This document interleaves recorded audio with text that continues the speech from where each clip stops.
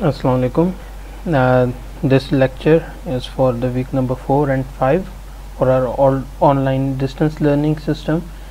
Uh, जो topic आज हम कवर करेंगे वो बेल्ट्स एंड पुलीज है और बेल्ट्स uh, बेसिकली जो है बेल्ट्स हो गई रोप्स हो गई चेन्स वगैरह हो गई या इस तरह के कोई भी सिमिलर इलास्टिक या flexible machine elements and they are basically used in conveying system and the transmission of power on uh, relatively long distances. Uh, उसके अलावा जो है लेट्स से अगर आपने लोड वगैरह ट्रांसफ़र करना है तो उस केसेस में भी जो है कुछ जो है आपके पास कंपोनेंट्स ये यूज़ होते हैं। बेल्ट्स पे हम बाद में आएँगे। सबसे पहले जो है हम पुलिस को डिस्कस कर लेते हैं। पुलिस का बेसिक फ़ंक्शन क्या होता है कि आपने सिंपली लेट से अगर लोड लिफ्ट करना है और पुली को हम पहले इस वजह से कवर करने जा रहे हैं क्योंकि जो आप लोगों की कोर्स बुक या करिकुलम है, उसमें बेल्ट्स पे ज़्यादा तवज्जो दी गई और पुलिस को ऐसा उतना कवर नहीं किया गया।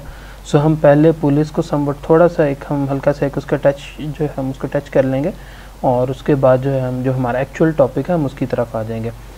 ओके सो जिस तरह आपको यहाँ फ़र्स्ट फिगर में अब आपको नज़र आ रहा है कि लेट से अगर हमने कोई भी लोड लिफ्ट करना है तो पुली बेसिकली एक व्हील है जो कि जो है आपको एड करती है कि आप सिंपली जो है लोड लिफ्ट कर सकें।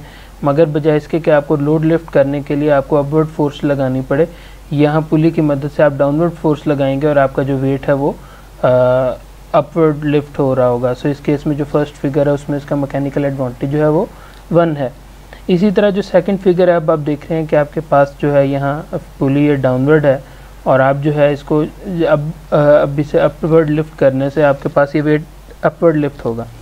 मगर यहाँ आपका जो है मैकेनिकल एडवांटेज जो है बेसिकली टू हो जाता है क्योंकि दोनों जो आपके पास रोप्स हैं वो यहाँ कंट्रीब्यूट कर रही होंगी और आपका जो लोड है लेट से टेन के जी लोड था तो आपको सिर्फ़ फाइव के जी फोर्स आपको जो है लगानी पड़ेगी, जिसकी वजह से आपका लोड लिफ्ट हो जाएगा।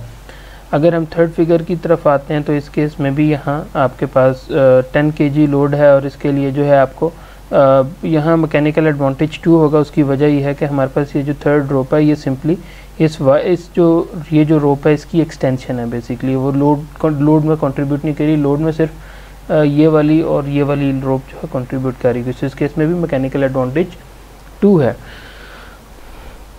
इसी तरह जो हमारे पास लास्ट फोर लास्ट जो हमारे पास है, अब यहाँ चार पुलिस हैं और वो सॉर्ट ऑफ़ जो है फिक्स्ड पुलिस हैं। दो फिक्स्ड हैं और दो जो है मूवेबल पुलिस हैं। इस केस में आपके पास जो मैकेनिकल एडवांटेज फोर होगा और आपकी फोर्स जो है रिड्यूस हो जाएगी वन बाई फोर टाइम्स उसकी मेन रीज़न ये है कि पुली जो है, क्योंकि इसके ऊपर रोल आउट होता है, ठीक है, इसकी वजह से जो है हमें ये पुली असिस्ट करती है। पुलिस जो है हमारे जो भी एवरीडे फ़ंक्शन के आप कोई भी मशीनरी उठा लें उसमें आपको पुलिस और बेल्ट्स के सिस्टम जो है नज़र आ रहा होगा। आप सिंपल अपने घर के जो है आपके पानी वाले मोटर होती है आप सिर्फ़ वहीं से एग्जांपल अगर स्टार्ट करें आ, सो वहाँ भी बेल्ट और आपके पास जो है पुली की आपको एग्जांपल नज़र आएगी। और मूविंग ऑन टू आप जो है सिंपल कोई भी अपने हमारे जो व्हीकल्स हैं आप उनके ऊपर आ जाएँ आपको पुलिस आपको नज़र आएँगी। सिंपल मोटर्स आप जो है ले लें। टॉयज़ ले लें आपको जो है उनमें मैकेनिज़्म ये नज़र आएगा। ओके उसके अलावा जो है हम आ, तो जी बेल्ट्स को जो है हम डिस्कस कर लेते हैं। Belts rope chains under the similar similar elastic और flexible machine elements are used in conveying system and in the transmission of power from comparatively long distances. अभी भी जो हमारे पास जो ये अभी हम आगे जा के डिस्कस करेंगे, बल्कि अभी चलें डिस्कस कर लेते हैं। ये जो बेल्ट ड्राइव सिस्टम है, ये अभी भी बहुत एफिशिएंट है। कहा यह जाता है कि आपके पास जो अभी हम जो सबसे पहले कवर करेंगे, जो कि फ्लैट बेल्ट हमारे पास जो ड्राइव्स हैं they their accuracy is around 98 percent जो हम हम अपने थ्रेशर वगैरह में इसको यूज़ होते देखा होगा, या जो ट्यूब पंप सिंपल जो है आपने पीटर इंजन वगैरह, इस तरह इन इन तरह की एप्लीकेशन में ही अच्छे खासी जो है तो इसके अलावा टेक्सटाइल इंडस्ट्री में भी अच्छे बड़े, यानी कि हेफ्टी लेंथ की जो है आपके पास बेल्ट्स वगैरह जो हैं, वो यूज़ हो रही हैं इन पावर ट्रांसमिशन उसके मुकाबले में जो आपके पास गियर सिस्टम है और जो व्हील बेल्ट सिस्टम है एटर सेट कि ये जो है, इसकी इसकी जो एफिशिएंसी है, बनस्बत आपके पास जो बेल्ट ड्राइव जो फ्लैट बेल्ट सिस्टम है उसके मुकाबले में अराउंड सेवेंटीज़ में ये फॉल करती है। गियर के गियर के केस में सॉरी ये नाइन्टी सिक्स परसेंट है मगर फिर भी उससे नस्बता कम है ये। सो so, इस वजह से जो है बेल्ट की अहमियत बढ़ जाती है कि एक तो जो है रिलेटिवली चीपर भी है और एफिशिएंसी भी बेहतर है। ओके okay, उसके बाद जो है आ, Uh, since these elements are elastic and uh, usually quite long they play an important part in absorbing shock loads यानी कि जो वाइब्रेशन वगैरह जो है अगर उसका कोई फिनोमेना अगर हो रहा है तो बेसिकली इसको क्योंकि लॉन्गर डिस्टेंस पे और इलास्टिक है तो इसकी वजह से जो वाइब्रेशन का जो फिनोमेना कर होता है वाइब्रेशन जो इफ़ेक्ट डाल रहा होगा उसको ये समवट एब्जॉर्ब कर लेगी अपने अंदर।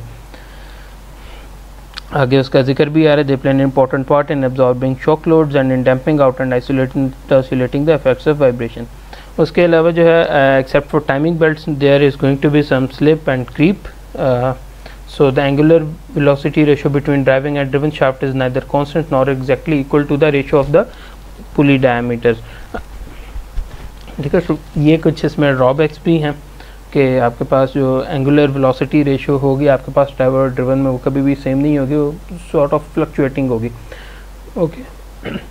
आइडलर पुलिस क्या करती हैं? आइडलर पुलिस का आगे जो है एक कॉन्सेप्ट आएगा। आ, जब हम एंगल ऑफ़ रैप पे आएँगे तो ये हम उसको वहाँ कवर कर लेंगे। सॉरी ओके जी हमारे पास जो मेन बेल्ट्स हैं वो पाँच किस्म की बेल्ट्स हैं। एक आपके पास जो है फ्लैट बेल्ट्स हैं या कन्वेयर बेल्ट्स उनको कहते हैं। एक जो राउंड है या फिर ओ रिंग बेल्ट्स है एक वी बेल्ट है। टाइमिंग बेल्ट है यानी कि जिसमें टीथ वगैरह जो है लगे हों। और एक है प्रॉपराइटी बेल्ट डिज़ाइन के। कोई मैन्युफैक्चरर है, उसने अपनी ही कोई स्पेसिफिक डिज़ाइन उसने पेटेंट कराया है और वो उसको यूज़ कर रहा है। सो ये केस भी हो सकता है। अब पुलिस जो है, वो चार तरह की होंगी। क्राउन पुलिस होगी या ग्रूव पुली होगी फ्लेंस्ड पुली होगी या फिर कॉक पुली होगी। तो इनको हम देख लेते हैं। जो सबसे पहले आपको नज़र आ रही है, जो कि हमारे पास ये फिगर है, जिसको मैं वन से जो है हाईलाइट करना लगा हूँ डैट इज़ योर सिंपल या फिर क्राउन पुली कि आपके पास बेसिकली एक शाफ्ट है और शाफ्ट के ऊपर आपने जो है उसको शेल से एक तरह से कवर अप किया हुआ है। सो इस तरह का जो होगा फीचर इस तरह की जो पुली होगी, ये हमारे पास जो है क्राउन पुली होगी, जो ये तो आपने एवरीडे लाइफ में हर जगह आपने तकरीबन ये यूज़ होती देखी होगी। उसके बाद सेकंड हमारे पास है ग्रूव पुलिस। ग्रूव पुलिस में यह है कि अलॉन्ग इट्स रेडियस जो है यहाँ डिफरेंट लाइंस हैं। आप इमेजिन करें कि ये पुली एक जगह लगी हुई है और इसके बिल्कुल इसी तरह की जो है वो बेल्ट जो है इसके साथ साथ जो है चल रही हो।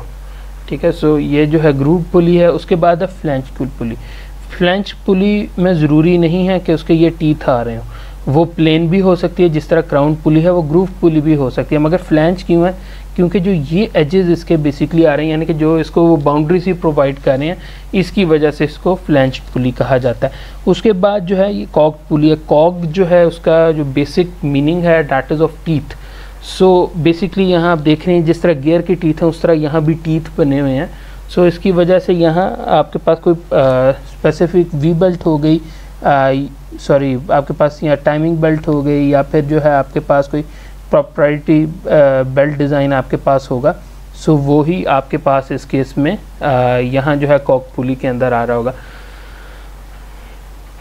ओके okay, सो uh, उसके अलावा जो है आई थिंक uh, यहाँ थोड़ा सा एक जो है आपने एक और फ़र्क भी आप ये देख रहे हैं कि uh, जो कॉक पुली में जो टीथ हैं वो देख रहे हैं आप लॉन्ग एक्सियल डायरेक्शन में। So you you don't have to you you should not confuse it with a groove pulley यानी कि कॉर्ड पुली और ग्रूव पुली को पुली को आपको इन बेसिस पे आपको डिफ्रेंशिएट uh, करना चाहिए कि एक के जो टीथ हैं वो कह लें कि वो अलॉन्ग एक्सियल डायरेक्शन में हैं और जो ग्रूव पुली है उसमें जो अलॉन्ग रेडियल डायरेक्शन में बेसिकली वो ग्रूव्स हैं. सो so, दोनों में डिफरेंस है. सो uh, so, इसको जो है अपने जहन में रखना है. सो uh, so, ये हमारे पास जो है that was all from the pulleys part उसके बाद जो है हम बेल्ट के करेक्टरिस्टिक्स देख लेते हैं। जो हमारे पास सबसे पहले फ्लैट बेल्ट पुली है। आ, सिंपल उसका क्रॉस सेक्शन देखें तो वो कुछ इस किस्म का आपके पास बन रहा होगा रेक्टेंगुलर की शेप में।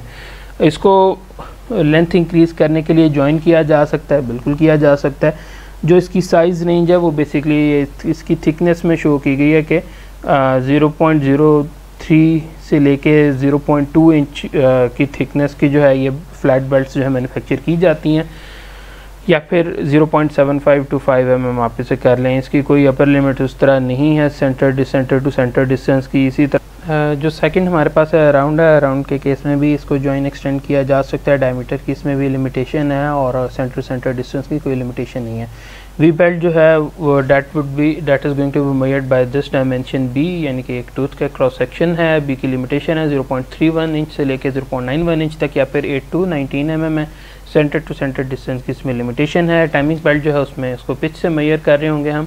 जॉइंट नहीं किया जा सकता है। इसको पिच जो है एटलीस्ट टू एम या उससे ग्रेटर होनी चाहिए और यहाँ पे सेंटर टू सेंटर डिस्टेंस जो है वो लिमिटेड है।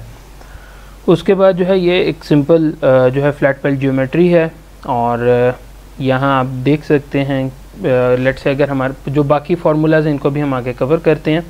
आ, अगर लेट से आपके पास ये क्लॉकवाइज मूव कर रही है ठीक है? सो आपके पास ये अगर ड्राइवर पुली है सो जो ड्रिवन पुली है वो भी क्लॉकवाइज मूव कर रही होगी।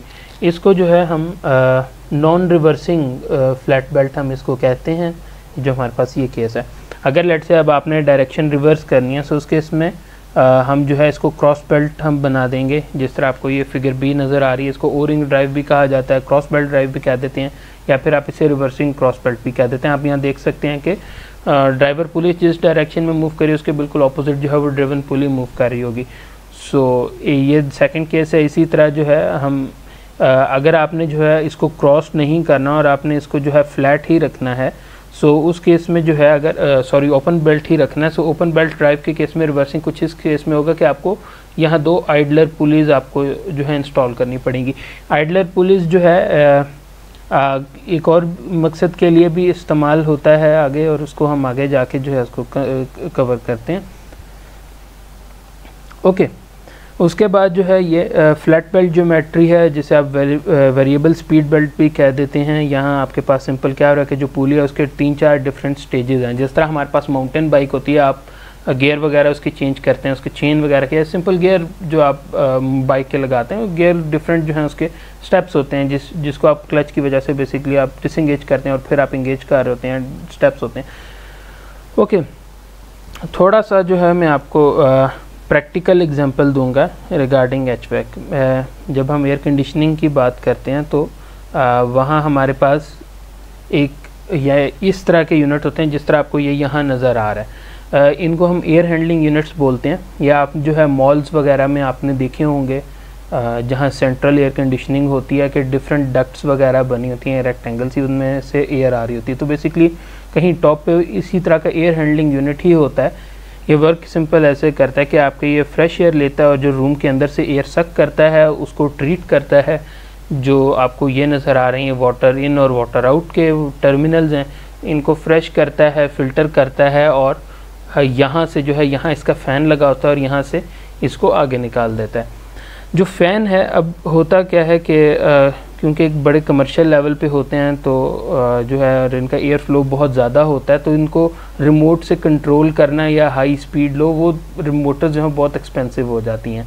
सो so, उस केस में आ, या फिर उनको हम इन्वर्टर मोटर्स कहते हैं या वीएफडी मोटर्स कहते हैं वेरिएबल फ्रीक्वेंसी ड्राइव अब वो ना हो तो हम इसका सॉरी हम इसका जुगाड़ क्या लगाते हैं कि आपको जिस तरह यहाँ ये मोटर नज़र आ रही है और ये आपको इसके जो है वी बेल्ट नज़र आ रही है बजाय इसके कि आप ये एक रखें हम क्या करते हैं कि यहाँ इसके डिफरेंट स्टेप्स बना देते हैं जिस तरह आपको ये यहाँ नज़र आ रहे हैं। सो so, अक्सर जो है अगर आप में से जो है इन फ्यूचर कोई एच वैक से रिलेटेड किसी इंडस्ट्री में आपके पास जाएगा सो वहाँ उसको ये ज़रूर जो है इसका सामने से पड़ेगा।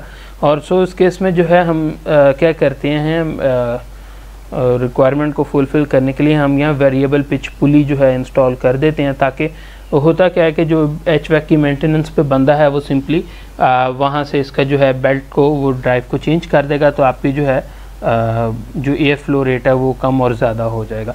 ये ज़्यादातर वैसे हम बिंग पाकिस्तानी हम इसको यूज़ करते हैं एयर फ्लो रेट बढ़ाने में। कम करने के लिए किसी ने यूज़ नहीं किया। हम बेसिकली करते क्या हैं कि ओवर क्लॉक करने के लिए अक्सर जो क्लाइंट्स होते हैं या जो प्रोजेक्ट पे जिनका प्रोजेक्ट होता है वही अक्सर जो है डिमांड करते हैं कि जी आप हमें ये ओवर क्लॉक की आप हमें कैपेसिटी दें या फैसिलिटी दें। Okay ji so that was on practical and यानी कि रियल लाइफ एप्लीकेशन इसकी कहाँ होती है? और इनफैक्ट जो है ये इस्लामाबाद में प्रोजेक्ट है और that was my first project in my last job actually so इस वजह से जो है uh, uh, that holds special importance. Okay uh, so अब हम आ जाते हैं बेल्ट डिज़ाइन की तरफ़. बेल्ट डिज़ाइन की डिस्कशन कर लेते हैं. जो हमारे पास फ्लैट बेल्ट्स होंगी वो ज़्यादातर या तो यूरेथेन से बनेगी या फिर कोई भी रबर इम्प्रेगमेंटेड फैब्रिक ठीक है री भी स्टील वायर या फिर नाइलॉन कोड्स वगैरह उसके दरमियान में होंगे so that it could take the tension load और इसी तरह जो है आपके पास uh, एक सरफेस या फिर इसकी दोनों सरफेसेस पे आप फ्रिक्शन सरफेस कोटिंग कर सकते हैं। क्योंकि बेल्ट के लिए ज़रूरी है कि इसका कोफिशेंट ऑफ़ फ्रिक्शन ज़्यादा हो। जितना कोफिशेंट ऑफ़ फ्रिक्शन ज़्यादा होगा वो उतना ही पुली के साथ इन कांटेक्ट रहेगा। जितना ज़्यादा कह लें कि वो दोनों एक दूसरे के साथ इन कांटेक्ट रहेंगे उतना ही बेहतर आपकी टॉक ट्रांसमिशन हो सकेगी। सो so, इस केस में इस वजह से आ, जो कोफिशेंट ऑफ़ फ्रिक्शन है that hold an important position V belt जो इसी तरह जो वी बेल्ट है वी बेल्ट जो है that is also made of fabric and cord usually cotton rayon या नायलन वगैरह या फिर which is impregnated with rubber in contrast with flat flat belt V belt are use with similar shape and shorter centre distances ठीक है, जो भी police वगैरह होंगी, वो लाजमी बात है सिमिलर नेचर की होंगी. जो कि वी बेल्ट के साथ कंपेटिबल होंगी और सेंटर टू सेंटर डिस्टेंस जैसे हमने पहले डिस्कस किया, वो स्मॉल होगा। यहाँ एक छोटी सी करेक्शन कर लीजिएगा, जहाँ पहले मैंने डिस्कस की थी एफिशिएंसी जो फ्लैट बेल्ट ड्राइव्स हैं, उनकी एफिशिएंसी 98 परसेंट तक ही होती है, मगर जो गेयर ड्राइव्स हैं, वो इंस्टेड ऑफ़ 96 वो भी 98 परसेंट तक आ जाते हैं। जो मेन करेक्शन है, वो वी बेल्ट की है कि वी बेल्ट की efficiency from 70 percent to 96 percent like करती है। वहाँ नाइन्टी सिक्स परसेंट का जो फिगर है वो आ, जो पीछे कुछ मिनट पहले जो है जो मैंने कहा वो थोड़ा सा मिक्सअप हो गया था तो काइंडली वो करेक्शन कर लीजिएगा। इसी तरह जो टाइमिंग बेल्ट्स हैं they are made up of rubberize fabric and steel wire यहाँ कॉटन वगैरह रेन नाइलन वगैरह उस तरह यूज़ नहीं होगा and have teeth that fit into grooves cut on the periphery of the sprockets लाजिम होता है जो स्प्रॉकेट्स वगैरह आप यूज़ करेंगे वो भी बिल्कुल उसके साथ कंपेटेबल होंगे। Atomic belt does not stretch और स्लिप ये हमने जो है अभी कवर uh, भी किया था शुरू में। And consequently transmit power at a constant angular velocity ratio so यहाँ एडवांटेज आ जाता है टाइमिंग बेल्ट्स का कि यहाँ एक स्लिपेज नहीं है। स्लिपेज नहीं है तो इसका मतलब है कि जो है आपके पास जो एंगुलर वेलोसिटी रेशियो है वो आपके पास थ्रू आउट कॉन्स्टेंट रहेगी। सो so, इसी वजह से आप देखते हैं कि टाइमिंग बेल्ट हमारे व्हीकल्स में यूज़ हो रही होती है। ओके उसके बाद जो है वर्किंग को डिस्कस कर लेते हैं कि बेसिकली जो एक हमारे पास बेल्ट है वो वर्किंग कैसे करेगी? सो so, उसमें सबसे पहले जो है आ, होता क्या है कि basically change in belt tension बल्कि चलें इसको स्टार्ट से हम जो है इसको स्टार्ट कर लेते हैं। बेसिकली ये सबसे पहले जो फिनोमना जिसने कवर किया था आ, उस साइंटिस्ट का नाम जो है फिरबैंक है। और फिरबैंक ने बेसिकली ये कहा था कि आपके पास होता क्या है कि दो पुलिस हैं और दरमियान में बेल्ट आपके पास लगी हुई है। तो एक आपको ये पता होगा कि एक टाइटर साइड होती है और एक स्लैक साइड होती है। तो ये कहता है कि बेसिकली जब टाइटर साइड से वो स्लैक साइड पे जो है जब वो बेल्ट चेंज हो रही होती है so there is a change in friction so due to change in tension so change in belt tension due to friction due to the belt and pulley, अभी हम इसको ज़िक्र करेंगे कि इस फ्रिक्शन का ज़िक्र क्यों यहाँ आ रहा है। Will cause the belt to elongate और कॉन्ट्रैक्ट ठीक है? या फिर अगर स्लैक साइड पे तो लाजमत तो सॉर्ट ऑफ़ जो है वो एलोंगेट होगी और जब वो टाइटर साइड पे आ रही है सॉर्ट ऑफ़ कॉन्ट्रैक्ट होगी and move relative to the surface of the pulley surface of pulley के साथ साथ वो इन कॉन्ट्रैक्ट रहेगा। This motion is cost is cause by elastic creep ठीक है कि आपने कॉन्टीन्यूसली उसको जो है वो लोड उसके ऊपर फुल पड़। तो लाजमी आता है ओवर द टाइम जो है जब उसके ऊपर ये लोड पड़ेगा सो ये फिनोमिना जो है क्रीप होगा। आप देखते हैं सिंपल अगर इलेक्ट्रिसिटी वायर्स जो है आपने इंस्टॉल किए हैं ओवर द टाइम आप देखते हैं, या टंगस्टन फिलामेंट को आप अगर उसका केस देखें तो ओवर द टाइम क्या होता है कि वो अपने वेट की वजह से ही वो उसमें लचक या वो ढीला ही हो जाती है वायर सेम केस जो है आपके पास यहाँ भी अगर हो रहा होता है सो so, होता क्या है कि ड्राइविंग पुली का अगर हम केस लेते हैं ड्राइविंग पुली पे क्या हो रहा है? अच्छा इसके इससे पहले जो है एक हमें एक और कॉन्सेप्ट हमें कवर करना पड़ेगा जो आप ये देख रहे हैं यानी कि यहाँ ये ड्राइवर पुली और ये थीटा डी देख रहे हैं इसको कुछ बुक्स जो हैं एंगल ऑफ़ लैप कहती हैं और कुछ बुक्स जो है इसे एंगल ऑफ़ रैप कहती हैं। सो so, दोनों टर्मिनोलॉजीज इसमें सही हैं। सो एंगल ऑफ़ रैप में भी हमारे पास जो है ये बेसिकली ये जो कॉन्टैक्ट हमारे पास है कंप्लीट इसमें भी ये तीन चीज़ें आ रही हैं। एक आपके पास जो है ये थीटा डी है जो कि वो आर्क है जो कि कोई चेंज नहीं लेके आ रही ना टॉर्क टॉर्च जो आपके पास जो सिंपल टेंशन उसको कोई चेंज नहीं कर रही। जबकि जो ये एंगल होगा असल सारा जो फिनोमेना है जो कह लें कि जो चेंज है वो इन एंगल्स पे इनकी वजह से जो है वो अकर हो रहा होगा। सो so, जब अब हम आर्क की एंगल ऑफ़ रैप की बात करेंगे हम इस कंप्लीट एंगल की बात करेंगे थ्रू आउट कंप्लीट की अभी बात कर रहे होंगे। सो so, होता क्या है कि the action of the driving pulley through that portion of angle of contact ठीक है complete angle of contact that is actually transmitting power ठीक है such that the belt move slowly then surface of speed pulley because of elastic creep अच्छा अब जो angle of contact है अब उसमें जो है देखें दो चीज़ें आपके पास हैं। एक आपके पास जो है वो अफेक्टिव आर्क है, यानी कि जो ये अभी मैंने ये सर्फेसेस में हाईलाइट की हुई हैं, और एक आपके पास ये आइडलर आर्क है, जो कि सिंपली ये आपके पास है, जो कि बेसिकली जो है इसको सिर्फ़ सपोर्ट कर रही है, जो आपके पावर ट्रांसमीटर वो इफ़ेक्टिव आर्क की कर रही होती है। होता क्या है कि जो आपके पास ड्राइविंग पुली है, ठीक है, सबसे पहले जो है इन कांटेक्ट जब आपके पास बेल्ट अगर मैं कहूँ कि यूँ रोटेट कर रही है ठीक है इस डायरेक्शन में और लाजम होता है ये भी फिर इस डायरेक्शन में रोटेट कर होगा। सो बेसिकली सबसे पहले जो टेंशन है वो यहाँ आपके पास आ रही होगी ये इस पॉइंट पे ठीक है? जब सबसे पहले वो यहाँ इन कांटेक्ट आती है आ, और इसको टाइट साइड की टें ये टाइट साइड की टेंशन होगी चलें इसको हम एफ़ वन कह देते हैं। ओके ये जो एफ़ वन टेंशन है और यहाँ वेलोसिटी इस टाइम पे अगर वी वन हो सो so, इस केस में आपके पास होगा क्या कि बिल्कुल इसी तरह ये टाइटर साइड से जो है ये पास ऑन होके ये आपके पास आइडलर जो आर्क है उसकी तरफ़ चली जाएगी। ओके okay, उसके बाद क्या होता है कि आपके पास जहाँ आइडलर आर्क ख़त्म होती है वहाँ से जब दोबारा इफ़ेक्टिव आर्क शुरू होगी इस पॉइंट पे अब यहाँ हमारे पास क्या होता है कि आप देखते हैं कि जब बेल्ट यहाँ से मूव ऑन करेगी तो वो स्लाइटली लूजन अप हुई होगी। सो so, वो जो लूजन अप हुई है और उसकी वजह से जो अब आपके पास यहाँ टेंशन है वो भी अब आपके पास यहाँ F2 होगी और वेलोसिटी भी V2 होगी यहाँ वेलोसिटी V1 थी। तो अच्छा इसने फिर बैंक ने जो है आ, जो फिनोमना उसने एक्सप्लेन किया और एक्सपेरिमेंटली उसने प्रूव भी किया उसने ये कहा था कि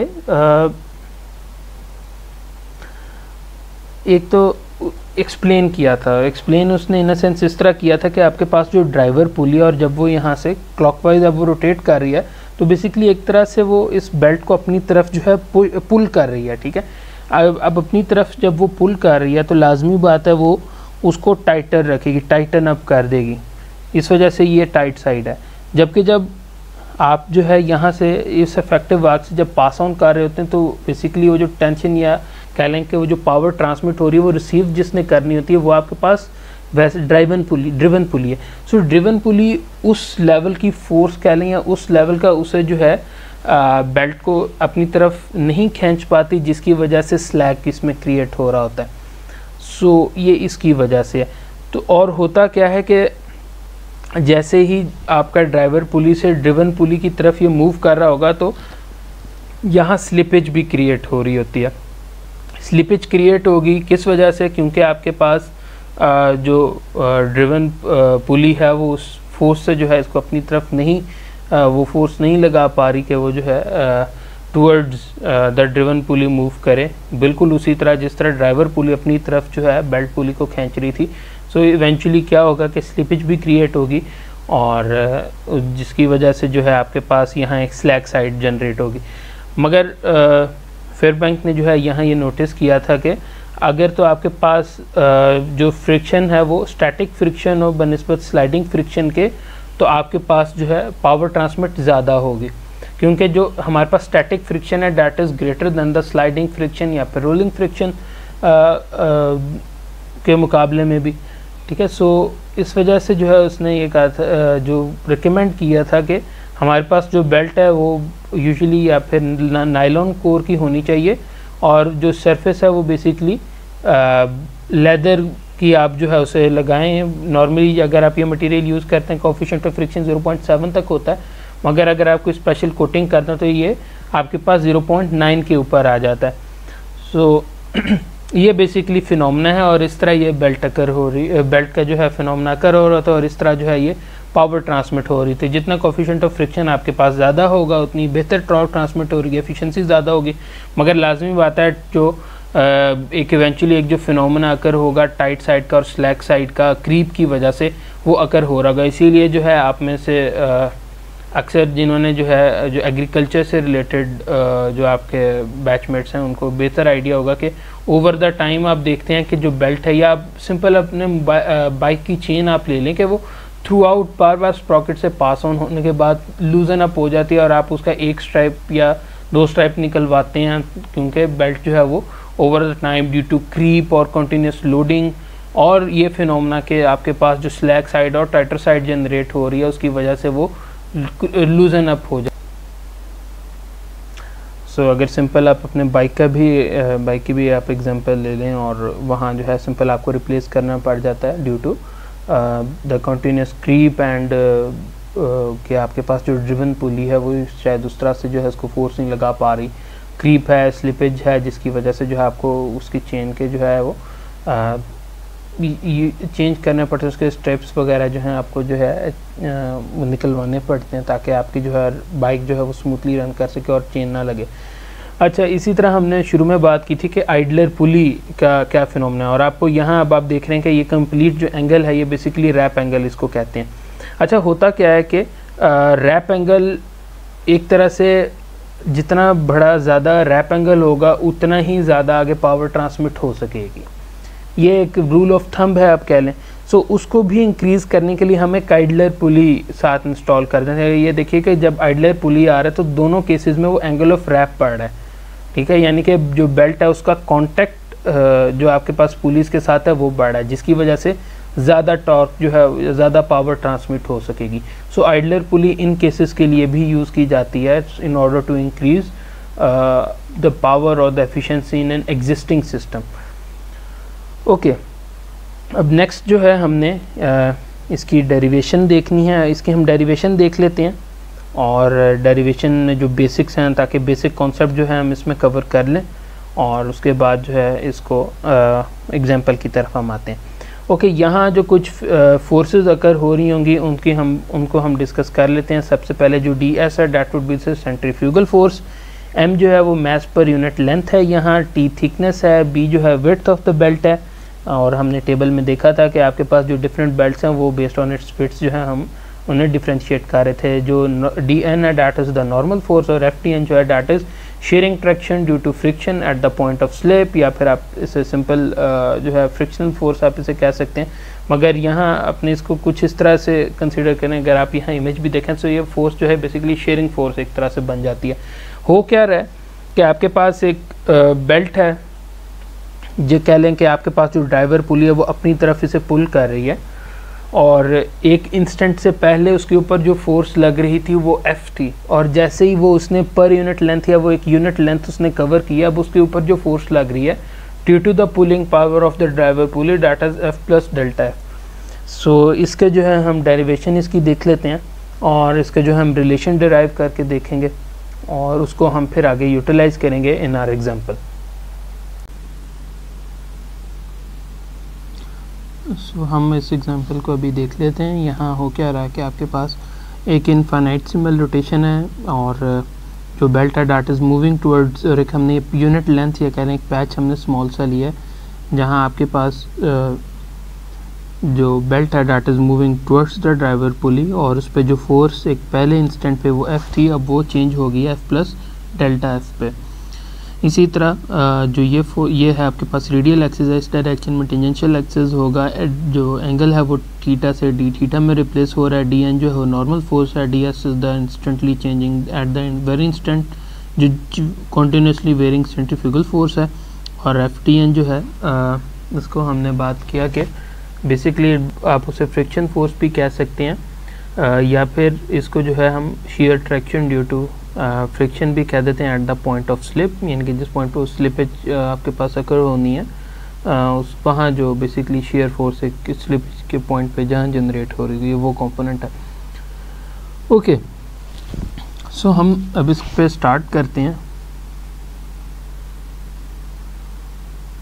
और हम सबसे पहले जो है यहाँ आ जाते हैं सेंट्रीफ्यूगल फोर्स के रिलेशन पे, और वो हमारे पास होता है M R square omega square मगर चूँकि आप यहाँ देख रहे हैं कि ये with respect to theta vary कर रहा है सो आप यहाँ डी थीटा भी लिख देते हैं।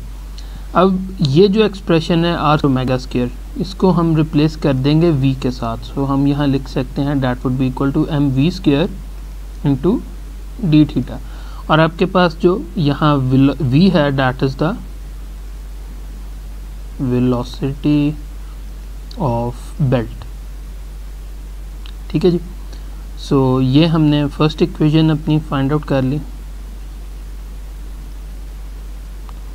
इसी तरह अब हम क्या कहते हैं कि समेशन ऑफ़ फोर्सेस कर लेते हैं around radial axis so radial axes के अलोंग जो सबसे पहले फोर्स लग रही है that is the normal force एक चीज़।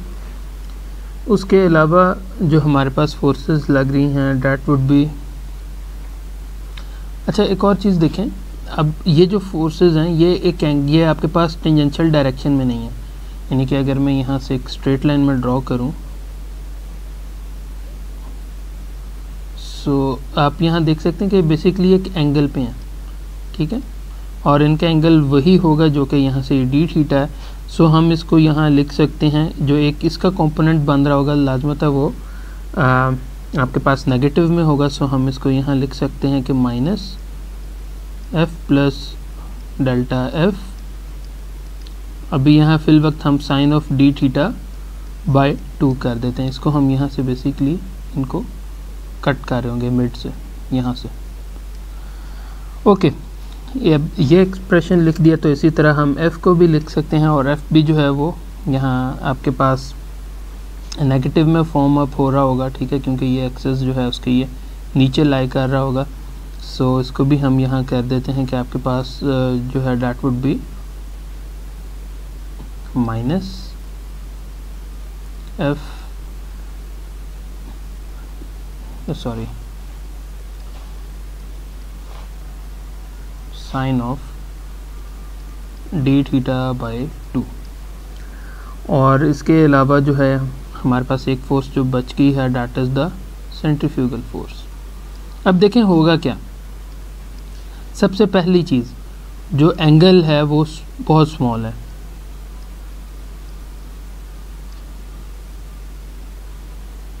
सो so, हम यहाँ लिख सकते हैं कि आपके पास जो sine of D theta by two है वो इक्वल है डी थीटा बाई टू के। अगर ये एक्सप्रेशन हम ये कर देते हैं सो हमारे पास ये सिंपली जो फोर्सेस हैं, ये हमारे पास बचेंगी D N plus D S और इसी तरह जो है, हम यहाँ एक और सपोजिशन भी करेंगे कि इसको जो है हम यहाँ कह लें कि फ़र्स्ट ऑर्डर डिफरेंशियल इक्वेशन ही रखेंगे या फिर जो इसके हायर ऑर्डर जो डिफरेंशियल है, उनको हम निगलेक्ट कर देंगे। अगर तो लेट से आप यानी कि हम इसमें जो डेल्टा एफ़ है इसको हम इग्नोर कर देंगे।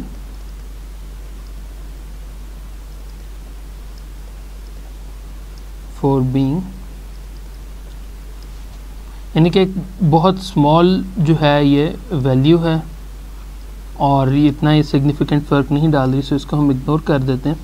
सो so, हमारे पास जो इक्वेशन बनेगी that would be simply delta N plus delta S is equal to F D theta क्योंकि ये देखें, ये साइन ऑफ़ जो डी थीटा है, ये basically D theta by two हो जाएगा, ये भी डी थीटा बाई टू हो जाएगा सो ये टर्म ये टर्म सिंपली एडअप हो जाएगी तो आपके पास ये रिलेशन बन जाएगा, या फिर आप यहाँ लिख सकते हैं कि जो नॉर्मल फोर्स है that is equal to F D theta minus centrifugal force so ये हमारे पास सेकंड इक्वेशन है।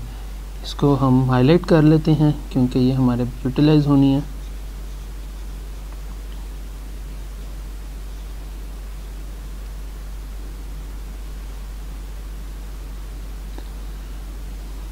और ये हमारे पास फ़र्स्ट इक्वेशन थी।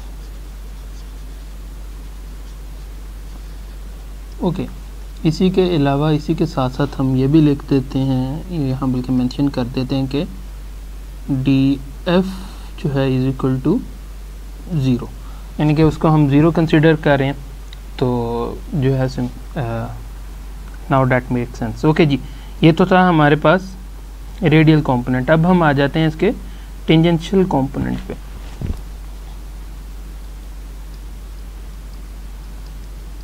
टेंजेंशियल एक्सिस के अक्रॉस देखते हैं तो लाजमी बात है जो पहले फोर्सेस लग रही हैं वो तो आपके पास ये सिंपली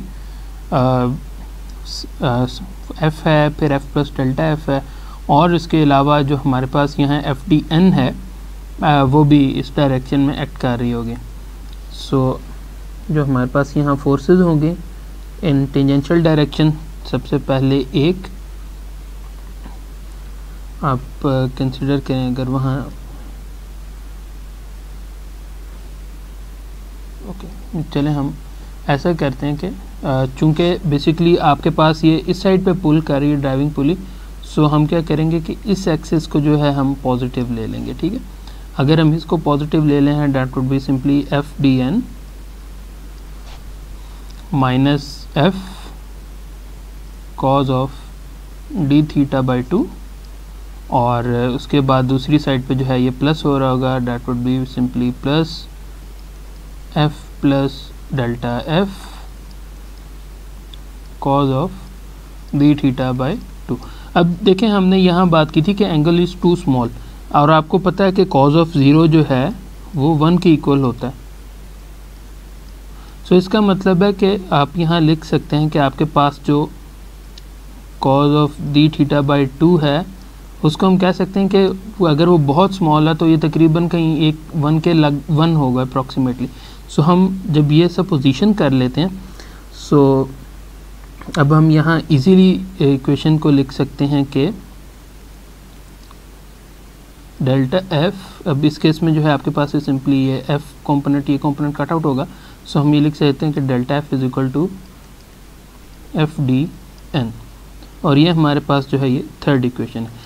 अगर तो आपके पास ये थर्ड इक्वेशन आ गई है, अब जो है आप क्या करते हैं कि जो आप थ्री इक्वेशन थ्री को यूज़ करें और उसके अलावा जो आप इक्वेशन टू को यूज़ करें सो हम यहाँ लिख सकते हैं कि delta F is equal to F D N की जगह जो है हम ये वैल्यू डाल देते हैं F T theta minus D S और डी एस की भी वैल्यू हमें नोन है सो इसको हम यूटिलाइज़ करेंगे और डी एफ़ के नया एक्सप्रेशन लिखेंगे,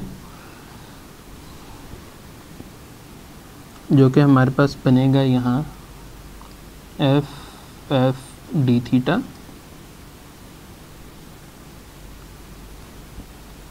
minus F M R square omega square D theta ये अभी क्वेश्चन हम लिख देते हैं। अगर हमने ये क्वेश्चन लिख दिया तो हम सिंपली यहाँ अब इसको लिख सकते हैं कि D F over D theta minus of friction, the force F. अब ये फोर्स जो है बेसिकली वो टेंशन फोर्स को रेफर कर रही है। So that would be equal to minus F M R square omega square ये इक्वेशन हमारे पास बन जाएगी और ये हमारे पास जो है फ़र्स्ट ऑर्डर डिफरेंशियल इक्वेशन है।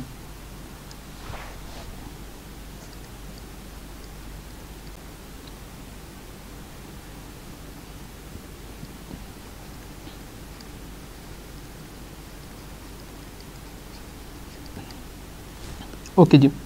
सो जब हम इसको सॉल्व करेंगे तो हमारे पास ये आंसर इसका आएगा F equals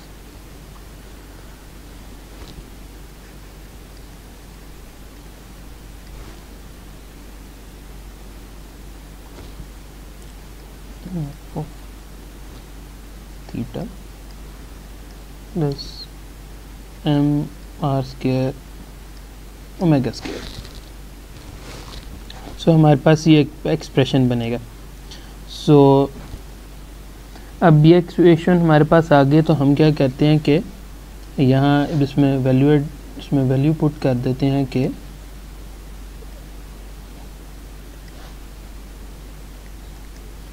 theta equal to zero put करेंगे तो हमारे पास जो एक्सप्रेशन बनेगा डैट वुड बी ये equals to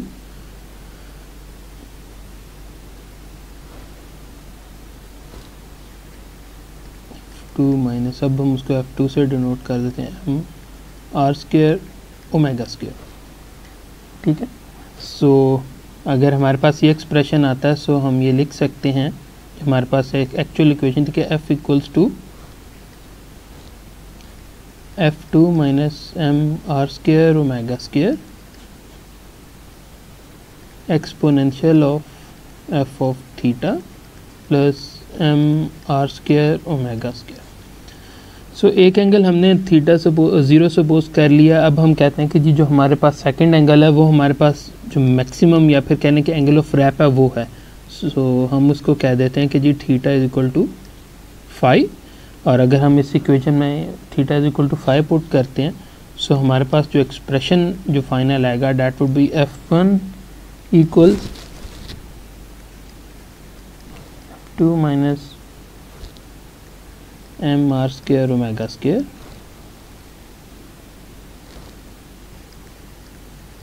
exponential of F of five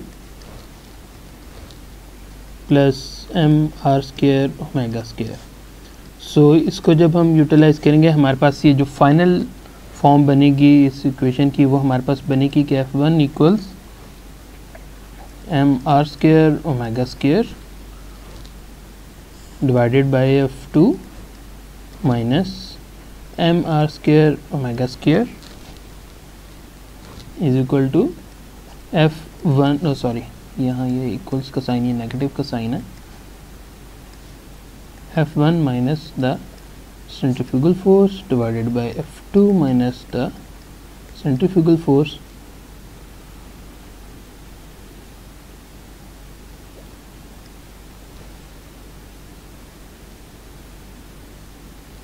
equals to exponential of f of 5 so so, यहाँ से एक और चीज़ भी अब आप देख रहे हैं जो F2 है बेसिकली वो टेंशन है जो कि हमारे पास आ, एक एंड पे डेवलप हो रही है कह लें जब स्लैक साइड से स्लैक साइड जो अपनी तरफ़ पुल आउट कर रहा है वो हमारे पास फोर्स F2 है और F1 वो हमारे पास सॉरी टेंशन है या फोर्स है। जो कि जब ड्राइविंग पुली अपनी तरफ़ इसे पुश पुल अप कर रहा होगा तो वो फोर्स अप्लाई हो रही है। सो so, अब हम इसको जो है स्लाइड से भी देख लेते हैं। सो so, सबसे पहले जो है हमने बिल्कुल उसी तरह इसी इक्वेशन को हमने सॉल्व किया टेंजेंशियल कंपोनेंट को हमने सॉल्व किया। उसके बाद जो है हमने एक्सप्रेशन डेवलप किया। एक्सप्रेशन डेवलप करने के बाद हमने theta equal to zero put किया फिर theta equal to five put किया। और हमने यहाँ एजम्पन ये हमने ली थी कि जब थीटा जो है that is starting from the loose side and phi at the tighter side so इसको करते हुए हमारे पास ये एक्सप्रेशन हमारे पास आ गया था जो इक्वेशन अभी हमने लिखी थी that is called as belting equation अगर इसको मज़ीद आप सिंप्लीफाई करेंगे, मज़ीद इसे सॉर्ट आउट करेंगे तो आपके पास ये कुछ इस तरह की फॉर्म ये आपके पास बन जाएगी। उसके अलावा जो है अब अगर सेंट्रीफ्यूगल फोर्स को जो है हमने M R square omega square अगर इसको जो है वेट डेंसिटी की फॉर्म में हमने लिखना हो सो वो कुछ इस किस्म से लिखा जाएगा कि मैस की W is equal to M G होता है सो आपने अगर वेट इंट्रोड्यूस कराना है तो उसको ग्रेविटी से डिवाइड करेंगे। वी और आपके पास जो है यहाँ सिक्सटी से हम इसलिए वजह से इसको डिवाइड कर रहे हैं ताकि जो है आपके पास ये पर सेकेंड में आ, आ सके। और इसके अलावा 32.17 जो है ग्रेविटेशनल एक्सेलरेशन होती हैं इन इम्पीरियल यूनिट्स और अगर आपने जो है वेलोसिटी फाइंड आउट करनी है सो उसका फार्मूला जो है वो pi D N over twelve है। अगर आपने डब्ल्यू फाइंड आउट करना है that is the basically the weight density so weight density के जो है आपके पास ये uh, एक रिलेशन होगा क्योंकि हमारे पास जो मैथ्स था that was per unit length maths ठीक है? अभी हमने स्टार्ट में भी डिस्कशन की तो इसकी वजह से जो uh, ये आपके पास वेट होगा सॉरी uh, ये वेट डेंसिटी ओवरऑल कहलाएगी जो ये वेट होगा ये भी सिंपली जो है आपके पास पाउंड्स पर फीट होगा। और बी और टी जो है यहाँ आपके पास बेसिकली हमारे सॉरी जो गैमा है that is the weight density और जो बी और टी है वो आपके पास जो है इंचज़ में होंगे वो इसके क्रॉस सेक्शनल डायमेंशन होंगे। सो so, यहाँ तक हमारे पास होता है उसके बाद जो है हम फ्लैट बेल्ट एनालिसिस है उसको हम कवर अप कर लेते हैं और इसके बाद जो है हमारे पास नेक्स्ट इन लाइन जो है न्यूमेरिकल होगा।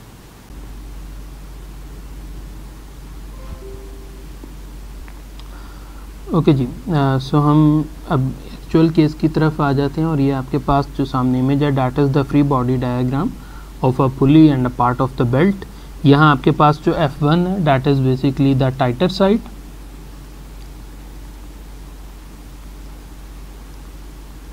और जो आपके पास एफ़ टू है that is the slack side अब आपके पास जो एफ़ आई है that is basically the initial tension यानी कि आपके पास कह लें कि प्री लोडेड जो है आपके पास जो है ये कंडीशन थी।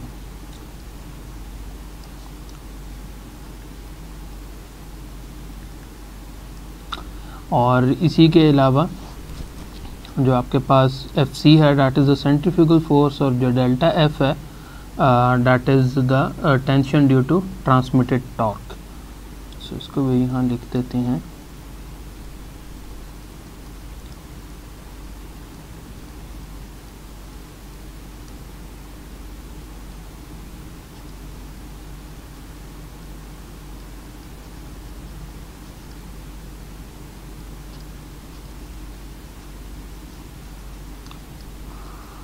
ओके जी।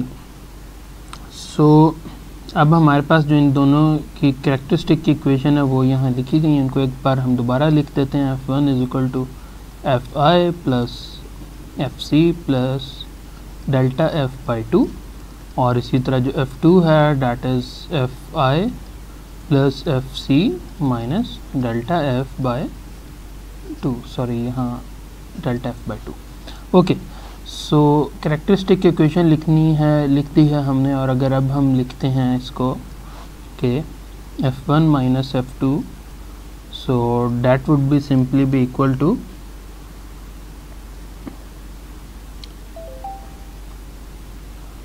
यहाँ पे से लिख सकते हैं क्या? Delta F by two simply दोनों एडअप हो जाएँगे so that would be simply delta F अब आपको याद होगा कि हमारे पास जो टेंशन होती है that is R cross F so हम इसको इक्वेशन को हम कुछ इस सेंस में भी लिख सकते हैं कि F one minus F two is equal to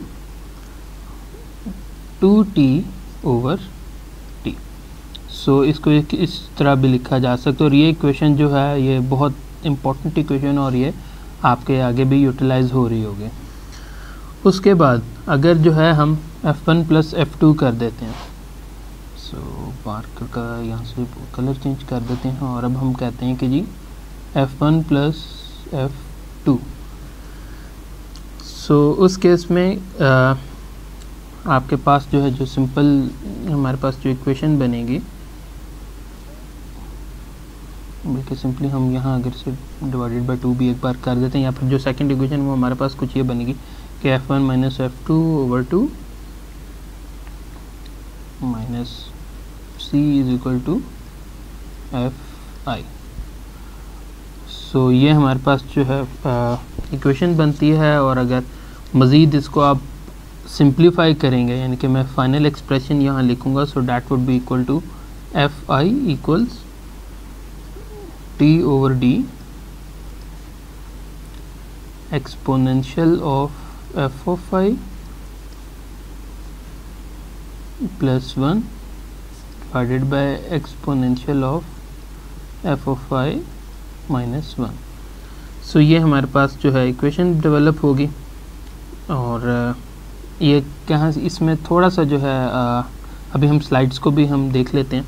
और इसके अलावा जो एक और इक्वेशन जो हमारे पास या एक और एक्सप्रेशन जो हमारे पास यहाँ इंपॉर्टेंट होगा उसको भी हम यहाँ पहले लिख लेते हैं। तभी हम स्लाइड्स की तरफ़ जाते हैं। That would be F two equals F C plus F I into two over exponential of F of I plus one okay अब हम आ जाते हैं स्लाइड्स के ऊपर और यहाँ तक जो है बहुत सिंपल था, उसके बाद जो है हमने डेरिवेशन की और डेरिवेशन करने के बाद हमने F one minus F two का रिलेशन हमने फाइंड आउट किया और इसी तरह F one plus F two जब हमने किया सो ये कंप्लीट डेरिवेशन है, अब आप देख सकते हैं। और हमने सिर्फ़ इसका ये फाइनल रिज़ल्ट लिखा था, जो कि यहाँ आ जाता है। ओके उसके बाद जो है हमने एफ़ वन का रिलेशन जो है, वो भी हमने लिखा।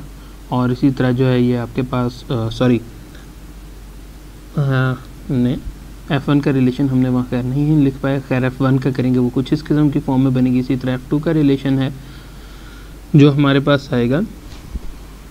और ओके okay, उसके बाद जो है जो ये रिलेशन है आपके पास ये पावर का रिलेशन है। अगर आपने पावर फाइंड आउट करनी है जो ट्रांसमिटेड आपने पावर फाइंड आउट किया उसके लिए ये रिलेशन है। और इसके अलावा जो है अब होता हमारे पास क्या है कि आपके जो बेल्ट होती है मैन्युफैक्चरर हर मैन्युफैक्चरर जो है अपने उसके मैक्सिमम कैपेसिटी उसकी प्रोवाइड कर देता है कि मैक्सिमम अलाइबल टेंशन या लार्जेस्ट जो अलाइबल टेंशन है वो इस केस में कितनी है। So that is known as F one A F one A जो है अगर नॉर्मली uh, हमारे पास जो भी इस तरह के प्रोडक्ट होते हैं उनकी कैटलॉग में तमाम पैरामीटर्स गिवन होते हैं। अगर हमने इसको मैनुअली फाइंड आउट करना है so that would be dependent on F A which is the manufacturers allowed allowed tension ठीक है? सो अगर नॉर्मली हम इसको कुछ ऐसे लेके चलेंगे कि एफ़ वन एफ़ वन जो है उसको हम basically F one A consider करेंगे। सो एफ़ ए जो है वो मैन्युफैक्चरर्स की मैक्सिमम अलाउड टेंशन है। बी जो है वो बेल्ट की वेट है और सी पी जो है वो पूरी करेक्शन फैक्टर है और सी वी जो है आपके पास वो वेलोसिटी कलेक्शन फैक्टर है। सॉरी करेक्शन फैक्टर है।